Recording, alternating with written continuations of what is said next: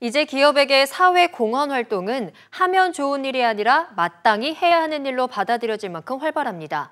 내용도 단순한 불의유 돕기 수준에서 벗어나 다양한 곳에서 다양한 방식으로 이뤄지고 있는데요. 기업들의 사회 공헌은 어떻게 준비되고 또 어떻게 진행되고 있을까요? SBS CNBC는 지난 몇 개월 동안 인텔 코리아 직원들의 봉사활동을 동행해 카메라에 담았습니다. 오늘과 내일 2회에 나눠 전해드립니다. 손서구 기자가 보도합니다. 대형 스크린이 설치된 강단 위에서 한 초등학생 남자아이의 컴퓨터 프로그래밍 강연이 펼쳐집니다.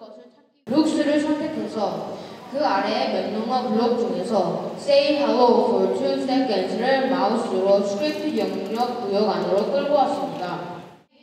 이 열띤 강연의 청중은 전국에서 모인 100명의 또래 친구들.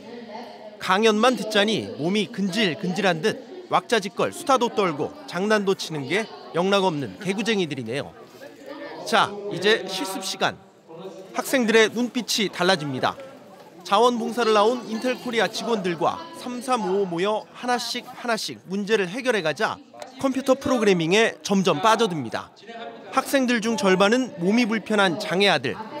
이들을 위해 강연 내용은 속기사가 타이핑을 해 실시간으로 대형 화면에 띄우고 자원봉사자들이 밀착해 실습하는데도 어려움이 없도록 도와줍니다.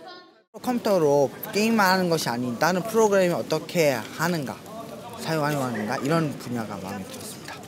일단 학교에서 배우지 못했던 거를 이런 거 평소에 배우지 못한 걸 여기 와서 직접 해보게 되니까 정말 저 나도 이렇게 할 수 있겠구나 이런 생각이 들었습니다. 일주일 뒤 인텔 코리아 본사 사무실 직원들이 사용하는 회의 장소 같은데 이것도 학생들로 가득하네요. 학생들은 자원봉사자로 참가한 인텔 코리아 직원들의 도움을 받아 소프트웨어를 만들고 있습니다. 그런데 허공에다 북을 치듯 양손을 번갈아가며 두드리는 모습이 흥미롭네요. 학생들은 도대체 무슨 소프트웨어를 만드는 걸까요? 공중 피아노 만들었어요.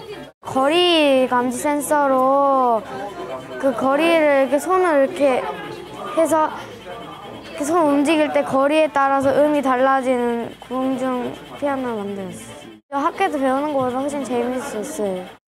추석 연휴를 이틀 앞두고 이번에는 인텔 코리아 직원 150명이 서울의 한 구청 대강당에 모였습니다.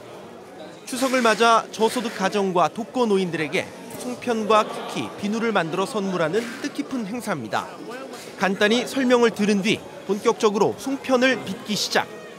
적당한 크기로 반죽을 떼어내 속을 넣고 보기 좋게 말면 되는데 마음먹은 대로 되지 않나 보네요. 송편 만들고 있어요. 쑥맛 나는 송편이요. 그래도 이웃과 따뜻한 정을 나눈다는 생각에 송편을 빚는 내내 웃음이 끊이지 않습니다. 집에서도 안 하는 송편을 이렇게 만들어보고. 쿠키 만드는 곳으로 가볼까요? 밀가루 반죽을 넓게 펴 다양한 모양의 틀로 찍어내고 건포도와 견과류를 올려 노릇노릇 구워내니 빵집에서 파는 쿠키 못지않네요. 다 만든 송편과 쿠키를 정성스럽게 포장해서 박스에 나눠 담으면 배달 준비 완료. 인텔 코리아는 외국계 기업임에도 불구하고 국내에서 활발한 봉사활동을 하고 있습니다. 지난해에는 15개 사회공헌 프로젝트를 추진했고 직원 10명 중 8명 이상이 봉사활동에 참여했습니다. 인텔 사회공헌 재단에서는 펀드를 조성해 직원들의 봉사활동 시간만큼 펀드에 기금을 적립해 주는데 이 기금은 다시 또 다른 사회공헌 활동에 쓰여집니다. 한 번의 봉사활동이 또 다른 사회공헌 활동으로 이어지기 때문에 직원들이 봉사활동에 적극적으로 참여하는 동력이 됩니다. 특히 올해는 인텔 코리아가 세계 어느 지사보다도 적극적으로 봉사활동에 뛰어들고 있습니다. 네, 저희가 그 우리 직원들의 그 봉사 활동을 통해서 인텔 파운데이션이 저희 직원들이 봉사한 시간만큼 matching으로 펀드를 제공합니다. 학교를 짓고 있는데 그 학교를 짓는데 역시 우리 직원들이 봉사한, 수마, 봉사한 시간만큼 어, 돈이 생기기 때문에 그 돈을 어, 학교 짓는데 또 어, 기증을 할 수가 있습니다.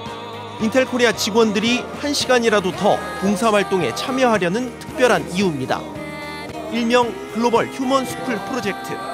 인텔 코리아 직원들의 발걸음은 이제 네팔로 향합니다. SBS CNBC 손석우입니다.